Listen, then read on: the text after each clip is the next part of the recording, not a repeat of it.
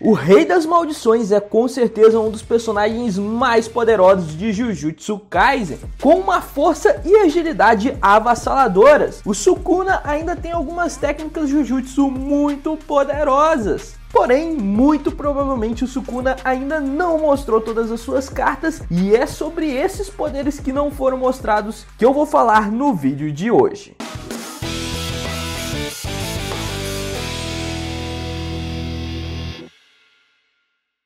E aí galera, Lucas Dias na área para falar mais uma vez de Jujutsu Kaisen. E dessa vez eu vou falar sobre um dos vilões mais queridos dessa obra, que é o Sukuna. Para ser mais exato, eu vou falar sobre uma técnica que ele utilizou uma vez apenas na sua luta contra o jogo. Mas antes de falar sobre essa técnica secreta do Sukuna, eu tenho um recadinho muito importante para você, que é que na minha lojinha, na Sutil, está com promoção das novas estampas. Então se você estava afim de comprar uma camisa de Jujutsu, esse é o momento porque elas estão mais baratas. Mas fique atento que essa promoção só vai até o dia 25. O link está aqui na descrição.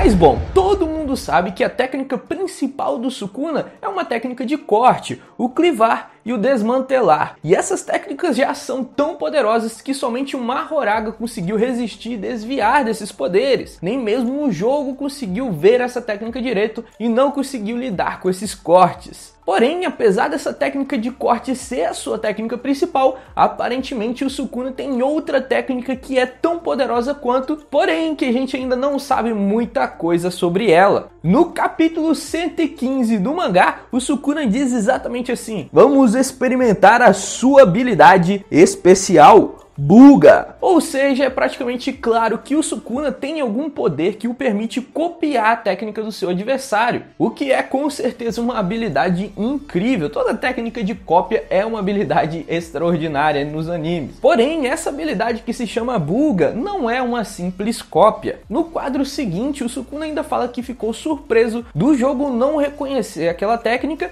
e ainda fala para ele: "Assim, eu achei que você sabia. Afinal, você é uma maldição mas não tem mesmo como saber. Não se preocupe, eu não vou trapacear divulgando seu estilo de habilidade. Daí a gente parte para o próximo capítulo de Jujutsu Kaisen, capítulo 116, e ali o jogo revela que a morte não é o fim para uma maldição. Quando uma maldição morre, ela tem a oportunidade de renascer em outra época, porém sem as memórias. Ou seja, provavelmente eles vão renascer com a mesma aparência e os mesmos poderes, porém sem as memórias atuais. Ao menos é o que eu acredito e é o que deu para entender depois da fala do jogo. E ainda nesse mesmo capítulo, o jogo tem uma espécie de conversa com o Sukuna, uma conversa num plano espiritual, aparentemente. E nela, o Sukuna estava um pouco mais tranquilo do que o habitual. E ele fala ainda a seguinte frase: Humanos, xamãs, maldições com os quais eu lutei mil anos atrás, você vai ser a mais agradável.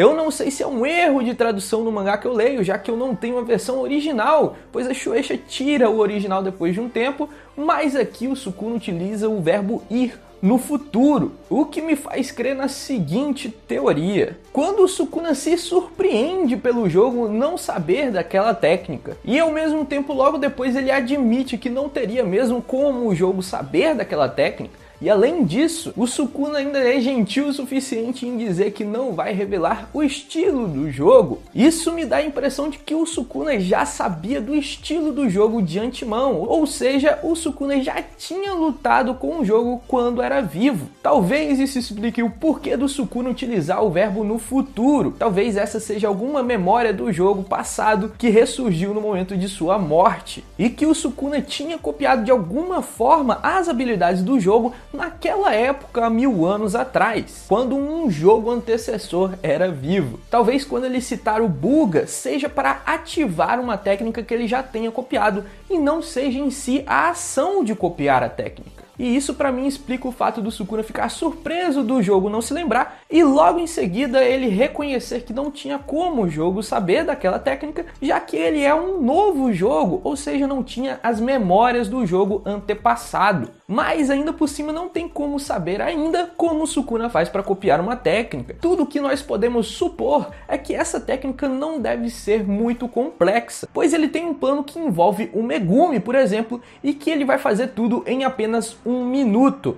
E eu acredito que o plano do Sukuna seja copiar a técnica do Megumi quando ela estiver mais poderosa, ou seja, quando o Megumi tiver a sua expansão de domínio completa. E eu acredito nisso porque o Bulga do Sukuna tem alguns segredos, como por exemplo, um símbolo na sua fala. A gente não sabe o que é aquela fala que o Sukuna disse, ou seja, tem algum segredo que o GG Akutami vai revelar pra gente mais pra frente. E como esse é o maior segredo atual do Sukuna, eu acredito que esse segredo esteja envolvido no plano que envolve o próprio Megumi. Então, muito provavelmente o Sukuna deve utilizar esse bug aí para tentar copiar uma técnica do Megumi, mas vamos voltar para a técnica em si, que eu ainda não acabei de falar sobre ela, tem algumas coisinhas ainda muito interessantes. E o primeiro ponto que eu quero levantar aqui é que apesar de ter copiado essa técnica do jogo, ainda assim a técnica do Sukuna tinha algumas peculiaridades se nós compararmos com a do jogo e também era muito mais poderosa do que a técnica do jogo em si. Então não é uma simples cópia. E eu tenho duas teorias que explicam essas diferenças entre as técnicas do jogo e do Sukuna.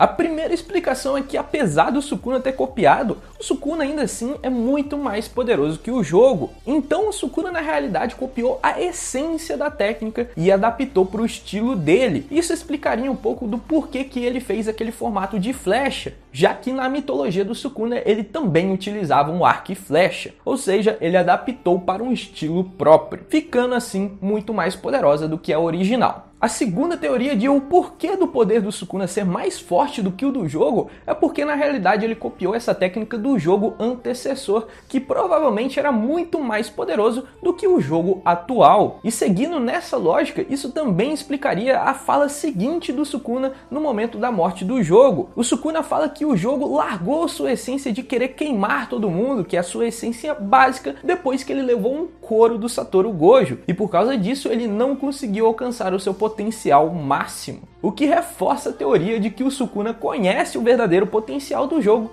que é muito superior àquele que ele enfrentou naquele momento. E a terceira explicação para que a cópia do Sukuna seja mais forte do que a do jogo original é que seja uma junção das duas anteriores, ou seja, ele copiou de um jogo mais poderoso e ainda por cima adaptou para o estilo dele, ficando assim ainda mais poderoso. Eu acredito que qualquer uma das três teorias possa ser bastante viável. Agora, sabendo que o Sukuna possui uma habilidade tão apelona quanto copiar a habilidade dos outros, aqui fica a dúvida, será que ele copiou a habilidade de se adaptar do Mahoraga? Porque se você se lembrar bem, o Sukuna está carregando o leme que estava nas costas do Mahoraga. Por que, que ele faria aquilo? Eu não sei. Talvez seja só para se exibir ou talvez seja por causa que ele utilizou alguma técnica para copiar o Mahoraga, a gente não sabe. Eu acredito que ele não tenha copiado, porque eu acho bem possível que ainda tenha algumas condições para que ele possa copiar a técnica do seu oponente. Talvez ele só possa copiar uma mesma pessoa uma vez, ou talvez ele só possa copiar a essência daquela técnica. A gente não sabe, mas a gente só vai descobrir como essa técnica funciona depois que nós virmos o Sukuna lutar novamente a sério com algum oponente poderoso. Até lá a gente só tem como teorizar e imaginar como é essa técnica tão poderosa. E bom, galera, era isso que eu tinha para mostrar para vocês. Espero que tenham gostado desse vídeo. E se você curtiu, eu vou pedir para vocês se inscreverem no meu canal e também apertarem no sininho, porque aí o YouTube vai te avisar toda vez que eu lançar um vídeo novo. Então se inscreva aqui aperte no sininho, que isso me ajuda e te ajuda demais, beleza? No mais, eu vou ficando por aqui e nos vemos no próximo vídeo.